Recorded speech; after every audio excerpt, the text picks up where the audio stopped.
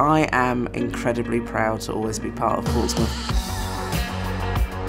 I studied journalism at the University of Portsmouth and I now work at Portsmouth Football Club in the media team. I love Portsmouth. It's got so much character and I think he'd agree that it's cool.